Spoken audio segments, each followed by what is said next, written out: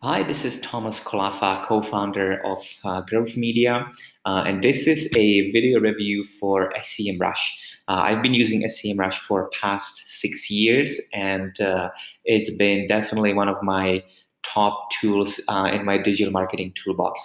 Uh, I love SEMrush because you can use it to reverse engineer your competitors' uh, online uh, and digital marketing strategy, uh, anything from SEO to traffic insights to to pay per click uh, uh, and a paid advertising. Uh, you can get a ton of insights into how to market where you compete with your business uh, is is structured from a digital real estate perspective, uh, and also you can see how uh, how you can improve your own website uh, content, uh, SEO strategy, and uh, and your own traffic.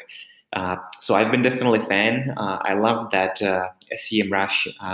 the basic package comes to about 99 bucks a month. So it is a paid tool, but it doesn't rob the bank for for for what you're getting uh, and I like that it's very very simple to use. So uh, if you have someone on your team uh, who is doing market research or collecting uh, uh, a comparative in, uh, intelligence, you don't need to provide a lot of training for them to get up and running.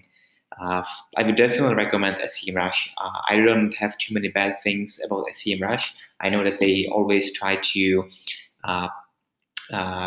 get better at their data validation uh, and uh, at all the sources. Uh, now they provide even uh, some of the data in a real time, which is great. Uh, this is literally a company that that uh, I know is it's improving, but it's probably 4.9 out of 5. Um, would definitely recommend it.